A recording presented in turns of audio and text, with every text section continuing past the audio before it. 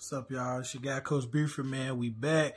I know some time has passed since the last video, but I want y'all to know I did get your messages. I got the emails uh, regarding uh, something that, that guys were just wanting more information on going into college football. Um, the next subject we're going to tackle, man, we're going to tackle the red shirt. The red shirt. What exactly is a red shirt? I'm headed into college. What are the possibilities that I might get redshirted in?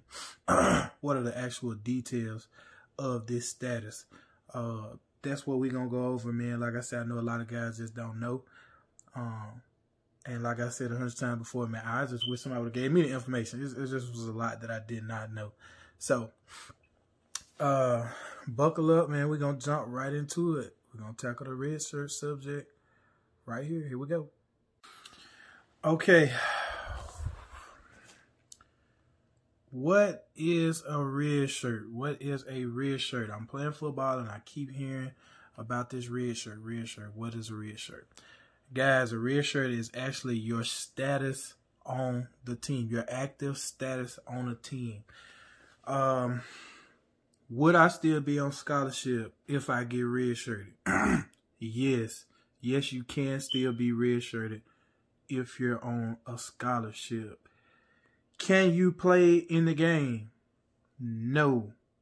You cannot play in the game. In the event that you get into the game a certain amount of time, you cannot redshirt that is an active year for you. That is an active year. If you get in the game, that is an active year.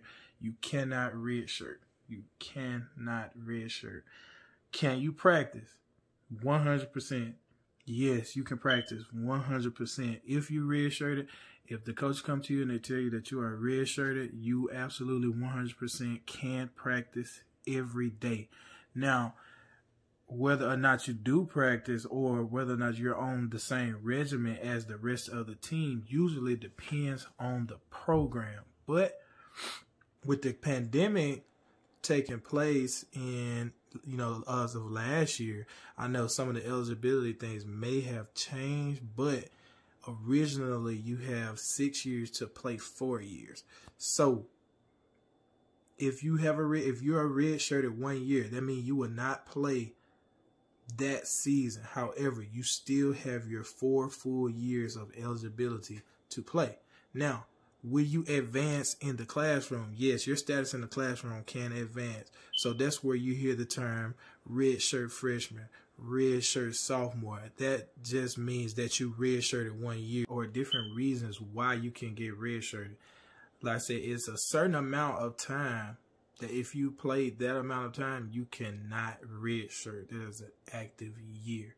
However, you can receive a medical red shirt. If you get injured before you played a certain amount of time on the field, you can still receive a medical red shirt. So I think everybody's granted one medical red shirt if you possibly, you know, God forbid, but if you possibly need it, you would you can be granted one medical red shirt and a another just regular red shirt.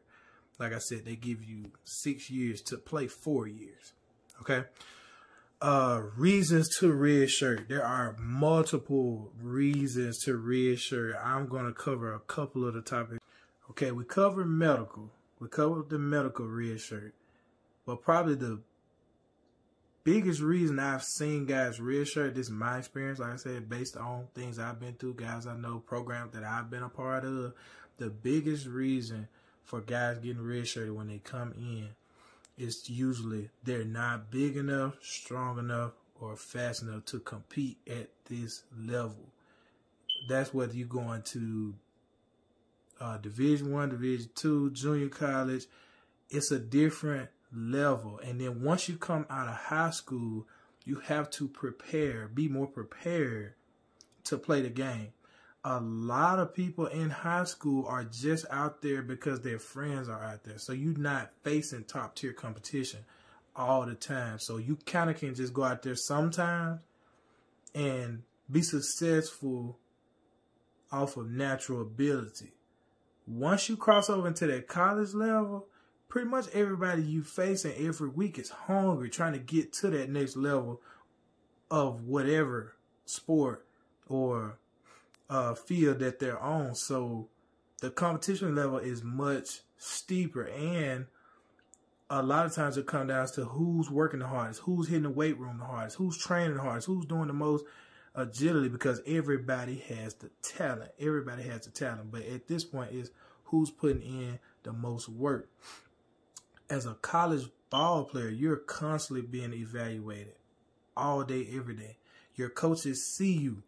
They're evaluating you. If they monitor you in the weight room and you're just not performing, if they're watching you in one-on-ones and you just not performing or you're a step behind everybody, that is a big reason why a lot of guys get redshirted their first year. Not a lot, not everybody, but a lot of guys it happens. Just not big enough, not fast enough, not strong enough. And ultimately it comes down to them not working hard enough. Uh, probably the second most common reason that I've experienced that people get redshirted uh, is usually just depth. Uh, a lot of times you know, coaches are hopeful that they'll get certain players for certain positions.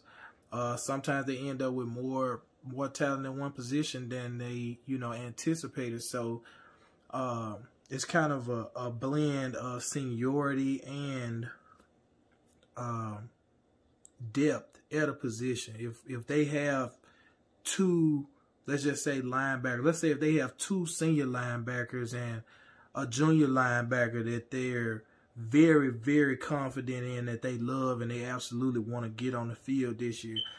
You coming in as a freshman, sometimes they they just automatically have it made up in their mind that you know they want to roll with that three or four man rotation.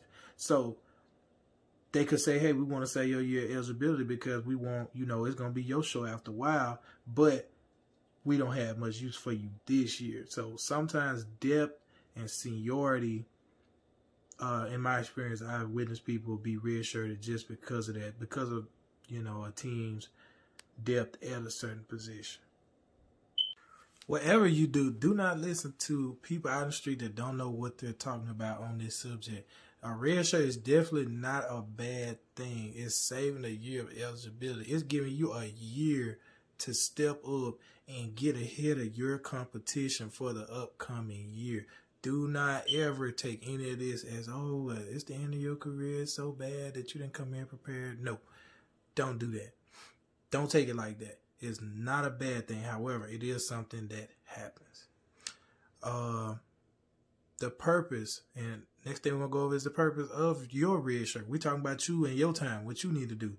In the event that you get red shirted, you need to take that year serious. That is not a year off. I don't care how good you think you are. I don't care how good you think you are. That is not a year off. That's not a year off. I have watched guys take a red shirt year, do nothing, come back that next year and get cut off of a team because they took it as a year off. It does not work like that. Life will pass you by. Don't do that if you're redshirted, take that time to get bigger, faster, stronger, become more familiar with the playbook. When you come back off that red shirt, you should be an absolute all-star. Junior college guys, some junior colleges handle redshirting differently. Some have an absolute schedule for you, a regimen for you to come work out every day. You have to be at practice. You have to do this. You have to do that. Some programs literally just redshirt you, tell you what you need to do, and tell you what they expect from you next year, and the rest is on you. Like I said, don't be that guy that goes and take a whole year off and think, oh, he's just gonna come back sweet with it the next year. No, you will get cut. Like I said, especially if you're in junior college you will get cut. Take that year off. Take that year. Don't don't take that year off. I mean, take that year seriously. Work hard. Get in that weight room. If it was me, I would go. I would. I would say, hey, coach, I need to be at practice. Can I come practice every day? That's me. That's what I would do. Like I said, this information that you know I wish I would have had before. Or I'm sure some other guys that, you know, kind of flushed their career down the drain due to a red shirt year. Uh, bigger schools usually do have someone assigned to you, like a coach, to make sure you're eating right, to make sure you know you're properly preparing for the upcoming year. But like I said, you do have some of those programs that kind of freelance you and give you the space to be a responsible college student. And they just tell you what you need to do. Hey, we want you to come back. We want you 250 pounds. We want you able to bench, you know, uh, 315 pounds. Uh, and you need to be, you know, you need to be in real good shape. Okay, so we're gonna recap some of the things that we went over. Uh, what is a red shirt? A red shirt is your active status on a team, on a college team. Are you, can you still be on scholarship and get red shirted? Yes. Can you play in the game? No. Can you still practice? Yes. Absolutely. 100%. Is this a bad thing? No. No, no, no.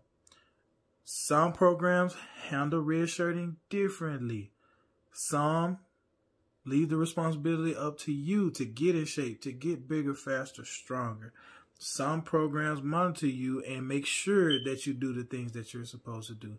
In the event that you're in one of those programs that kind of gives you the the freedom to do what you want concerning uh, your eating habits and you're getting stronger and you're getting faster and staying in shape, you have to be responsible. Do not think you're going to come back after a year off and just outplay everybody. It doesn't work like that. so, long story short, come in prepared if you do want to avoid uh, being red shirted. Um, sometimes you're just not big enough, fast enough, and strong enough to compete at the next level when you first come in. That is a possibility in the event that you get hurt early on in the season, you can be medically redshirted, which will save you a year of eligibility. And the last uh, point that I made was you might sometimes you just fall into a situation where you get redshirted and you kind of can't avoid it. It's not a bad thing. Uh, keep me updated, guys. Keep sending messages and and emails uh, comment on videos and subscribe, man. Just let me know what y'all want to know about. I'm gonna give you a real life, in depth uh, definition of everything I can. Like I said, I wish somebody had given me the information, man. Uh, God is good. Y'all be blessed. Remember, anything that you need to know, get it to me. I'm gonna make a video about it. I'm gonna be consistent, y'all. I'm with you. I'm with you. I'm back now. I'm back. Let's do it.